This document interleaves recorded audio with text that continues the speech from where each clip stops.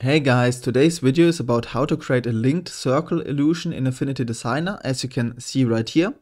And we're using Affinity Designer version 2 and a new feature shape builder tool for this. And to start we need a new clean document and we need to navigate to the toolbar right here to this shape tool and clicking on this little corner to select the donut tool. And by holding down shift while creating, we give the donut perfect proportions. So a, a, circle form instead of ellipse form and which we can now fill with a good visible color, for example, red for this example. So it's just better visible on this background. And we need now to adjust the thickness as we want it to be, for example, like this. And after that, go to the move tool right here select the move tool, move this donut inside of our document. Um, while with, have, with having snapping activated, we see the lines to find the middle of the document and now clicking Command C and Command V to duplicate as often as you want to link the circles. For me, it's three times. If you're using Windows, simply use Control instead of Command. And now we're moving the first one to the middle right here and the second one to the middle right here. And I like the proportion of having both of these rings um, 200 pixels away. So we're holding down shift and left arrow key 10 times to move the left ring um, for 100 pixels to the left and also the right ring for 100 pixels to the right. Again, 10 times shift and arrow key to the right and that's a proportion I like. Of course, you can use any proportion you want to. The effect is the same.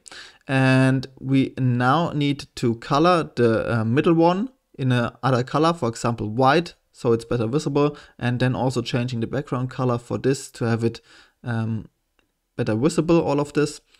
And what we now need to do, we need to duplicate this white ring by clicking Command C and Command V again and making it invisible for us to easier um, using the shape builder tool.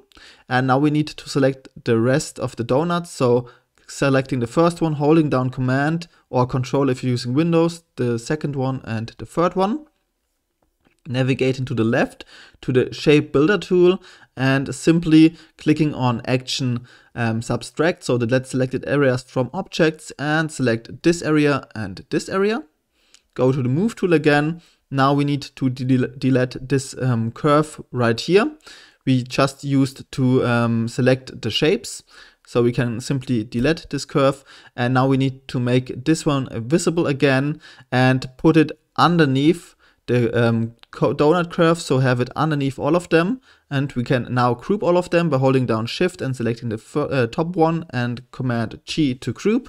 Um, instead of command, you can use control G if you're using a Windows PC. And now we have this linked um, circle effect. And to make it even cooler, we can use some quick FX um, outer shadow right here by selecting the whole group, Quick FX outer shadow, I like to use color black, 50% opacity, 50 pixels radius, 50 pixels offset, and 315 um, degrees angle.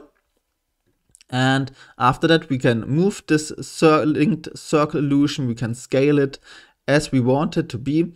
And yeah, that's gonna do for today's video. If you enjoyed watching, don't forget to like and subscribe and hopefully see you in the next video and bye. You